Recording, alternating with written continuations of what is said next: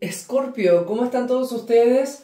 Sean bienvenidos a su canal Tarot Liz oficial acá en YouTube. Vamos a comenzar con tu lectura. Le daremos energía a las cartas con el cuenco y vamos a comenzar tu mensaje.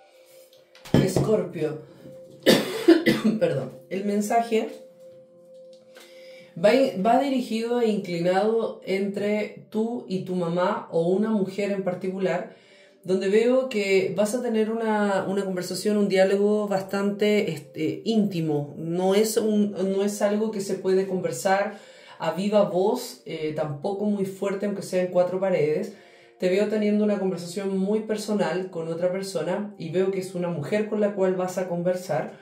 Puede ser la imagen materna, tu mamá, pero puede ser cualquier otra mujer. Siento que va a ser muy importante y clave esa conversación para que puedas desintegrar, desenredar, ordenar pensamientos, eh, como ordenar un poco tu vida, tu espacio, tus decisiones, ver las cosas con más claridad probablemente es alguien de mucha confianza que te entregará eh, como ese consejo clave para que puedas despojarte de algunas cosas, deshacerte de otras, mirar la vida con otros ojos y también mirar las cosas desde una perspectiva un poco más clara, más tranquila. Eh, siento que necesitas armonizar tus chakras, probablemente alguna limpieza, beber un poco más de agua, pero si vas a beber agua para la salud, eso es agua que tú simplemente bebes, ¿cierto? Puedes manejar ahí la cantidad de agua, decir, bueno, me tomo unas siete, unos 7 vasos al día, un litro y medio, no sé. Pero me hablan de un agua intencionada, beber un agua que tú consagres para lo que necesita tu cuerpo, lo que necesita tu mente, lo que necesita tu estado de tranquilidad. Si necesitas paz, intenciona ese vaso de agua que los seres de luz van a limpiar la impureza del agua y le van a otorgar una limpieza mucho más potente, con más energía, más fortaleza, y la vas a beber para intencionar que aquello que está débil o aquello que está engorroso se pueda fortalecer o esclarecer. Vamos con el tarot para Escorpio. Esa fue la energía que dio el cuenco. Ahora nos vamos con el tarot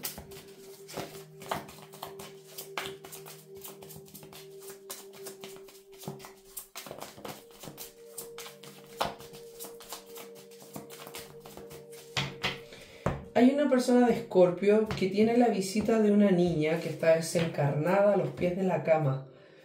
Estás sintiendo que alguien se posa en tu cama, que te toca los pies. Es una niña aproximadamente de unos 5 a 7 años. Me muestran la niña que tiene el pelo como... No es rubia, bueno, sí, yo la veo más rubia en realidad. Eh, yo sé que esto no ir para todos, pero a quien le haga sentido o que haya escuchado que a una de sus amigas le está pasando esto, ve una niña desencarnada que está eh, tratando de comunicarse con la persona a la cual le tocan los pies o deja como un peso a los pies de la cama. Me muestran una habitación con una persona desde la, la cabeza acá, los pies para allá, la niña está allá, la pieza de, de atrás de la niña se ve oscura, esto pasa más en la noche y probablemente la niña pertenece al clan familiar y está tratando de comunicarse con esta persona.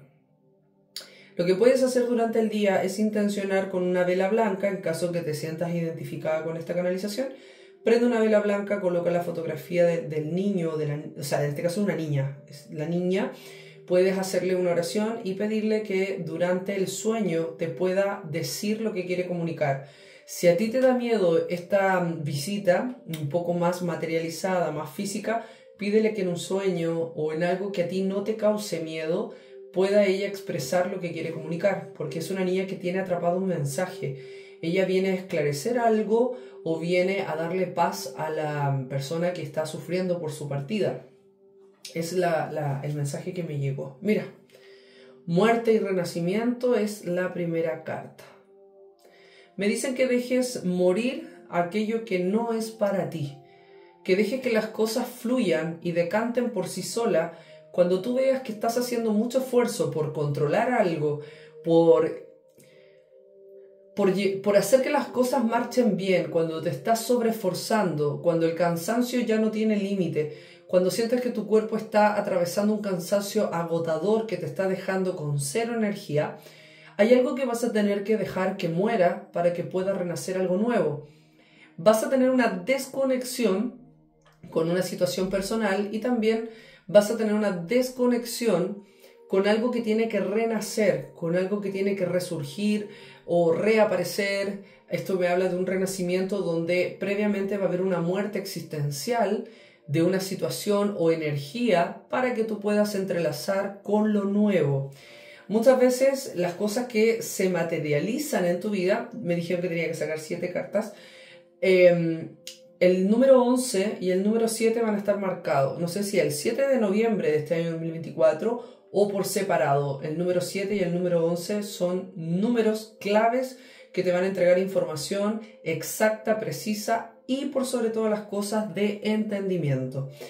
La muerte y el renacimiento te va a permitir eh, como encantarte o enamorarte de algo que va a perdurar un tiempo en tu vida, pero luego se tiene que marchar. Esto puede ser una relación, una vivencia nueva, una persona, un animalito, puede ser una casa, puede ser que vivas un tiempo en una casa y luego tengas que partir de ella, puede, puede que sea un nuevo trabajo, pero después tengas que salir de ese trabajo. Van a haber muchas cosas que se te van a dar como renacimiento, pero que no son perpetuas. Es por un tiempo, es por un ciclo. La muerte es una transmutación, es un cambio de un estado a otro. También siento que te vas a alejar de personas que como que te hacían sentir ahogada dentro de un ambiente. No te sentías parte del ambiente o del grupo de personas y también sentías de que esas energías estaban siendo un poco estancadas o muy de baja vibración para ti. Luego tenemos eh, el mago. El mago habla de la seguridad muy personal. Eh, esa seguridad pasa mucho por ti, pasa mucho por tu...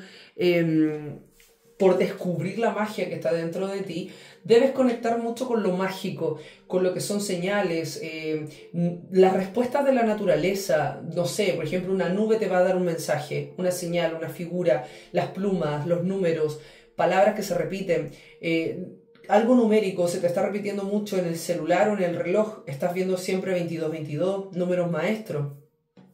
Estás viendo probablemente que la sumatoria de tu fecha de nacimiento da un número maestro. Eh, a veces ves las estrellas y empiezas a ver cosas o conectar con una maestría interior. El cielo te otorga mucha información que a veces te permite conectar con la energía que ya está dentro tuyo y empiezas a limpiar, empiezas a remover. Siento que el estar en una permanente y constante limpieza tuya, perdón, muchas veces te permite tener sueños más reponedores, donde puedas descansar. Descansa siempre tu mente, Escorpio, porque hay veces que eh, trabajas mucho la mente y tu cuerpo tampoco descansa. Si tu mente descansa, tu cuerpo también va a descansar, sobre todo cuando vayas a dormir. Mantente siempre consciente que eres una persona mágica que va a estar conectando con lo mágico que remover energías densas te va a permitir aclarar y otorgar energías limpias, más puras. Puedes hacer una limpieza con agua también.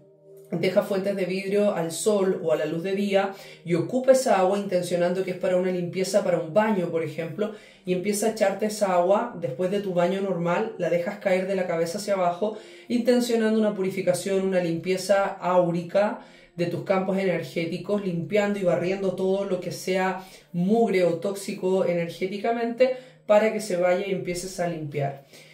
Dos de espadas, la mente desconectada del corazón. Lamentablemente hay cosas, Escorpio, que no pasan por ti ni dependen de ti, pero otras sí, y en las que sí dependen de ti, es la responsabilidad que tienes contigo misma, contigo mismo. Si tú sabes que te daña la salud del cigarro y el alcohol, entonces ¿para qué seguimos tomando? ¿Para qué seguimos fumando? Si tú sabes que te hace daño estar en el teléfono hasta las 3 de la mañana, entonces ¿para qué lo seguimos haciendo? El tomar conciencia de lo que te causa daño en tu vida, el estar vigilando la vida de tercero o el estar hablando mal de alguien, si tú sabes que eso te desconecta de tu corazón y te aleja de las buenas energías, entonces hay que tomar decisiones con responsabilidad con respecto a lo que yo estoy haciendo que me genera una baja energía. Hay veces que los pensamientos o las decisiones ya están aportando una energía más baja y un desvío a nuestras decisiones. Debes eh, como ponerte más alerta, más, más al pendiente de aquellas cosas que a veces son más mentales, que te desconectan de lo puro, de lo que es el corazón. Al estar desconectada, eh, lamentablemente, la mente del corazón, estamos en un constante desacuerdo con nosotros mismos. Entonces, cuando estamos en desacuerdo con nosotros, no ponemos límites, no estamos eh, conscientemente de nuestro cuerpo, de nuestras decisiones, si fumamos, no tomamos, no estamos tomando conciencia de la alimentación ni de los vicios.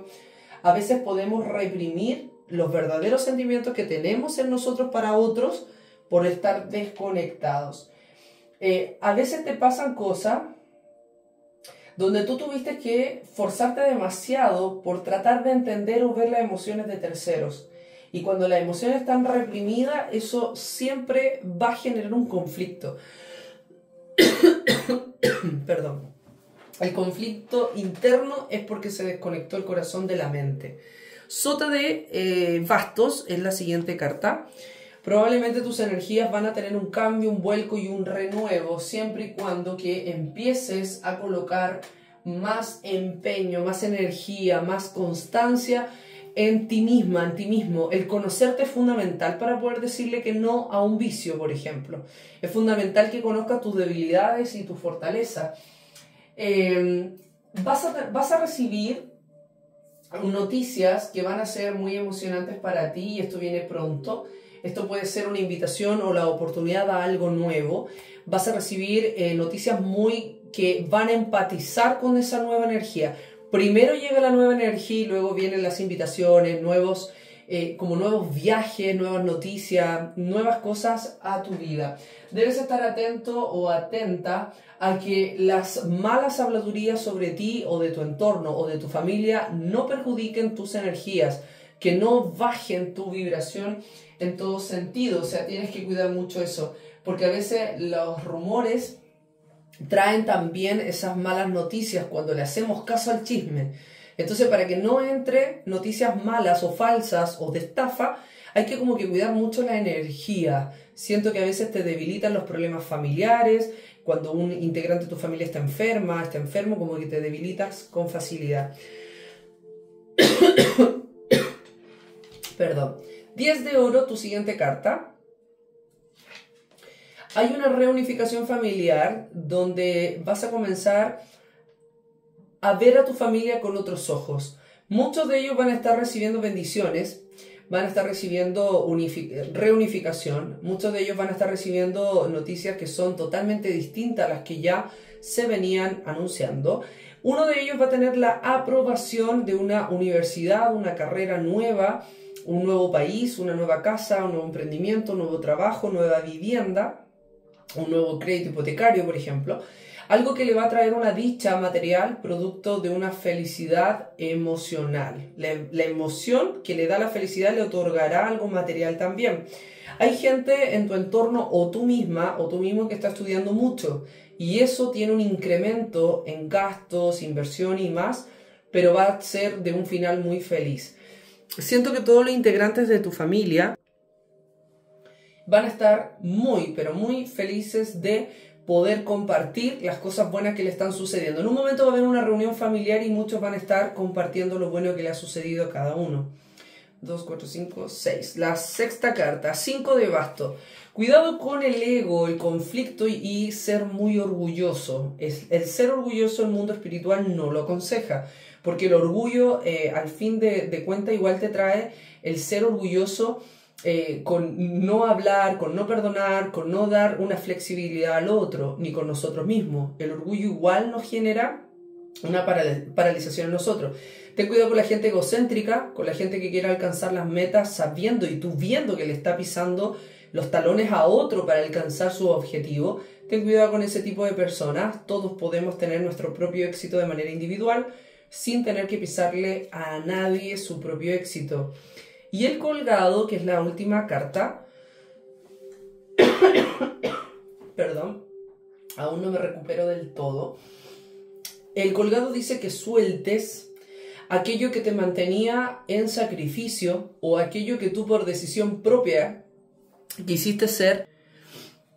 Perdón, tuve que hacer una pausa. Em, en algún momento, por decisión personal, quisiste eh, ser el sacrificio de algo familiar, sacrificarte por tus padres, por tus hijos, tu pareja, tu relación, pero ahora viene una etapa tuya personal donde tienes que soltar y que suceda lo que tenga o deba que deba suceder. No controles tanto tu entorno, ni tu vida, ni nada, ni tu mente. Si reconoces tu debilidad, vas de alguna manera a poder reconocer tu fortaleza. Pero si solamente estás de alguna manera viendo cuáles son tus fortalezas y que tú eres capaz de sacrificarte por los demás y tú eres capaz de hacer esto y no dormir y no comer por otros, tienes que llegar a un punto de equilibrio porque estás haciendo muchas cosas que te llevan a un sacrificio que te está perturbando.